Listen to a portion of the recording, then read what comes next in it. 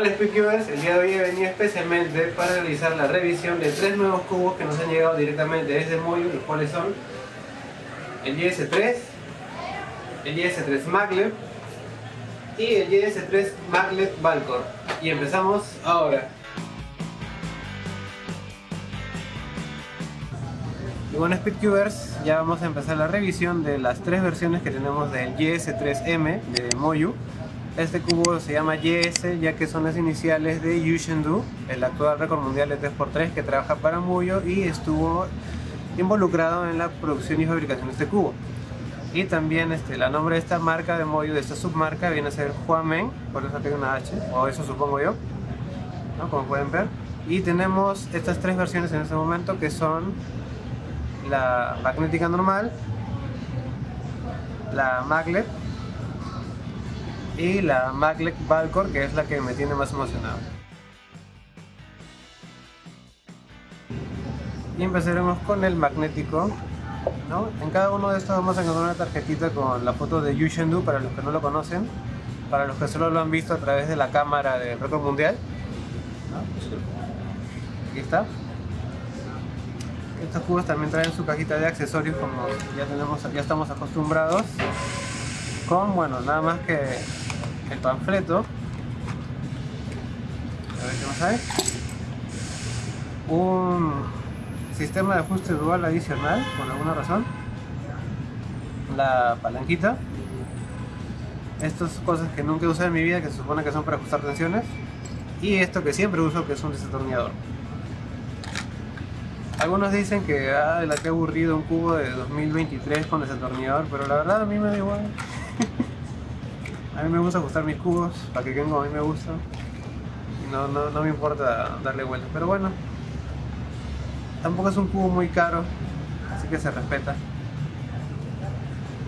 Las cajas plásticas.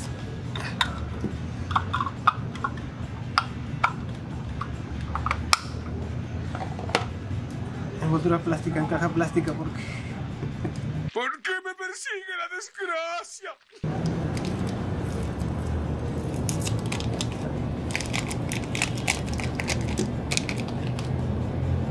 Aquí ya lo tenemos.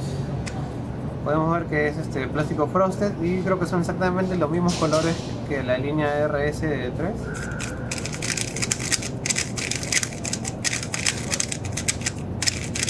este cubo no es ni, maglet ni Valco como ya les dije es la versión más sencilla pero se defiende ¿ah? si no tienen mucho presupuesto y aún así quieren un DS3 con facilidad les puedo recomendar este cubo. No tiene ningún problema, no me traba mucho. ¿Eh? Bueno, me puedo equivocar. Pero se pueden ejecutar algoritmos con facilidad. Eso sí, el cubo es de caja muy rápido, muy rápido. Y viene también muy seco. En cuanto a la fuerza de los imanes de la versión bueno, magnética, la básica, pues está está decente, no es súper fuerte, pero no es para nada débil, funciona bastante bien en este cubo. Aunque ya que esta era la versión este, normal, yo le hubiera puesto también imágenes más fuertes.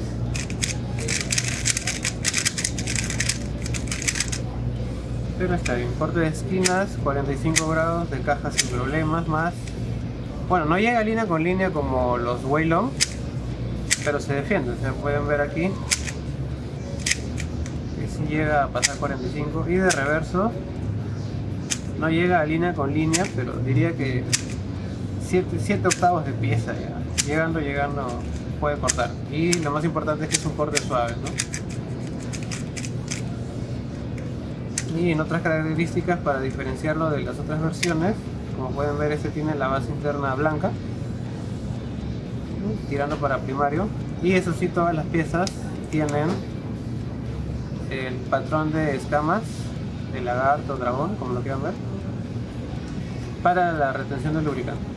Y ahora vamos a pasar a la siguiente versión. Seguimos ahora, esta es la versión Maglev. Los, los editamientos son los mismos. Acá tenemos a nuestro amigo Yushendu. Así que vamos a pasar de frente al cubo.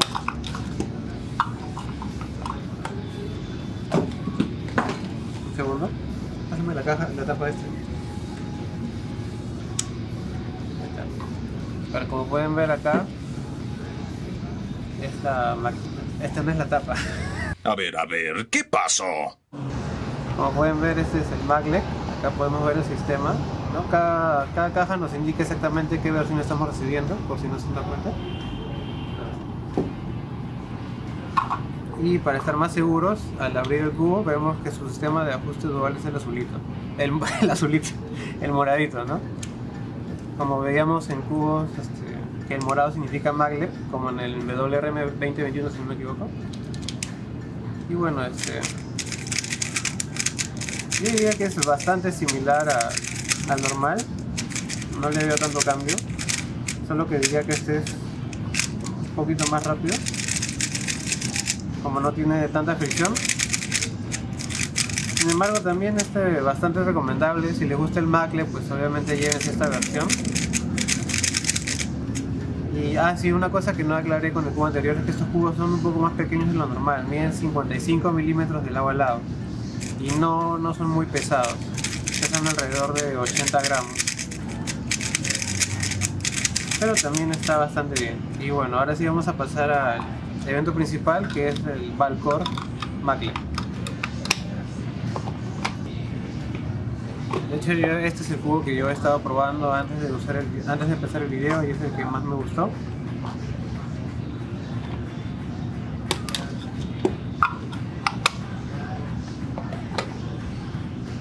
Este cubo también presenta las mismas características de las versiones anteriores, pero su este, extra, su bonus es que, como pueden ver, se acomoda solo. No a todos los ángulos, aunque claro, eso también depende de la lubricación, porque la tracción está.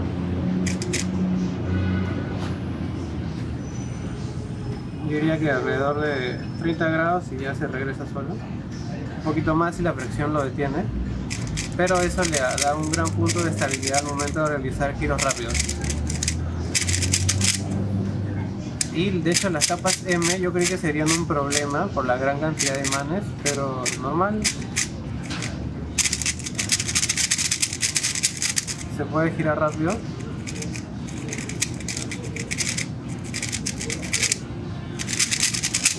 Y no hay ningún problema. El corte de esquinas en esta versión tampoco cambia, sigue siendo superior a 45 sin problemas y de fábrica, no hay que hacer ningún ajuste, corte reverso también es igual. El sistema de ajuste también es el morado porque esta versión también es maglev. Y vamos a explicar ahora cómo funciona el sistema del Valcor. Este cubo tiene el mismo sistema que el RS3, que tiene el core turquesa. Y en las esquinas, como pueden ver, tiene un imán que se atrae directamente al, al core. Lo que le da ese toque extra de estabilidad y que se reajuste, se reajuste solo dependiendo del ángulo que esté girado. Por ejemplo, si lo tengo acá se va a ajustar solo. Y bueno, estas piezas tienen un huequito que me parece bastante sospechoso. Tal vez en un futuro veamos una versión que tenga imanes que se repelen como en el GAN 13. ¿no? Como podemos ver, así es como funciona este cubo nuevo de Moyu. Y bueno, una vez ya explicado, porque el ajuste dual es el mismo que en todos los videos que hemos visto anteriormente con la palanquita y el tornillo. Así que vamos a pasar a algunas resoluciones. Bueno chicos, vamos a empezar a probar los cubos otra vez con este primero la versión normal la que no tiene nada más que imanes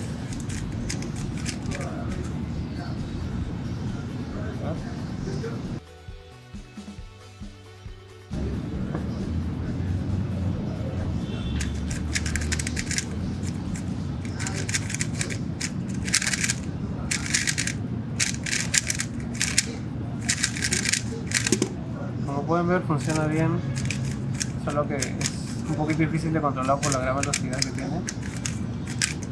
Yo creo que con una mezcla de lubricantes entre espeso y normal se puede hacer cositas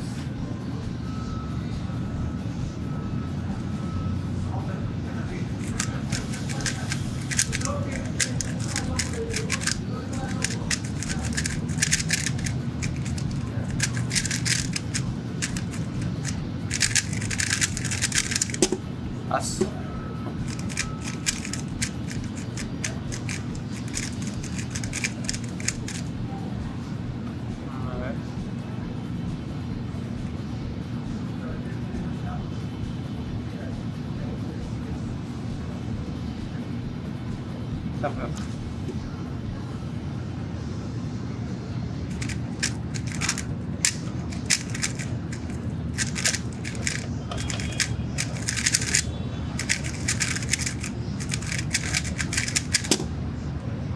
creo que con eso ya es suficiente. Vamos a pasar ahora a la versión que tiene maglev.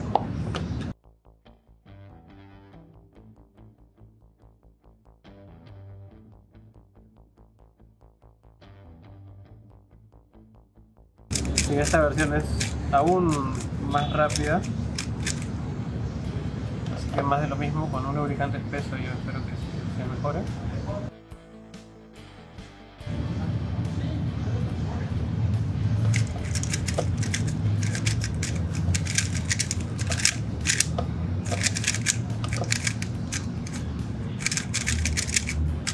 Ese fue el mío que me equivoqué de colores. Ah, la 15.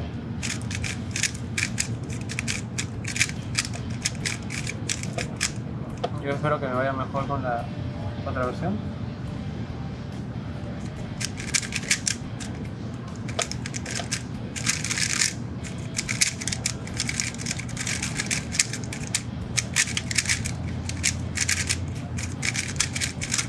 Ah, pues, vamos a ver si hacer un buen tiempo.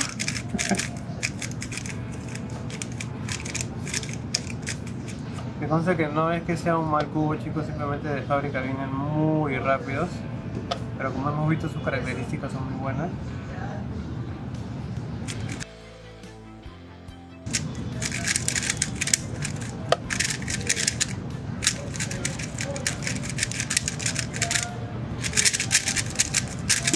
Ah, última capa muy complicado. Pero ahora vamos a pasar a la versión Maglev Balcon.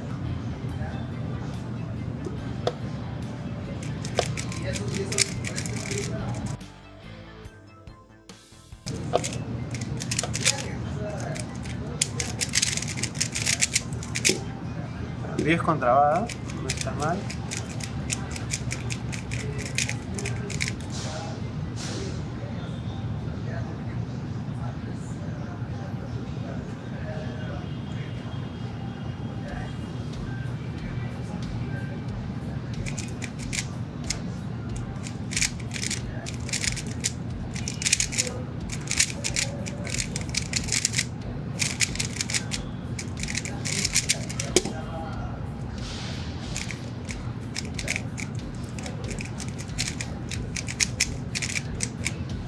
Eso no me ayuda.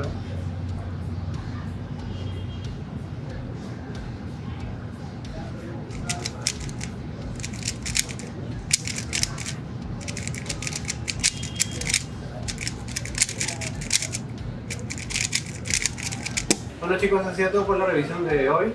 Como han visto, a mí me gustaba más el Valcor, ya que era bastante más estable de lejos y se podía aprovechar la gran velocidad del cubo sin trabarme demasiado. Yo creo que este cubo va a ser mi nuevo main. Sin embargo, vamos a ver en los próximos lanzamientos de las marcas Moyu, Gan, Chi o los que salgan, a ver si cambio de opinión. Pero por ahora este es mi cubo favorito. Sin embargo, para los que no estén interesados en el barco y quieren versiones más sencillas, no se olviden que también tenemos estas dos versiones del IS-3 que también son buenas, pero como ya dije me gusta más la versión Balco. Así que bueno chicos, eso ha sido todo por la revisión, si les ha gustado no olviden dejar su like, compártanlo con sus amigos, digan qué versión les ha interesado más y nos vemos en el siguiente video. Hasta la próxima.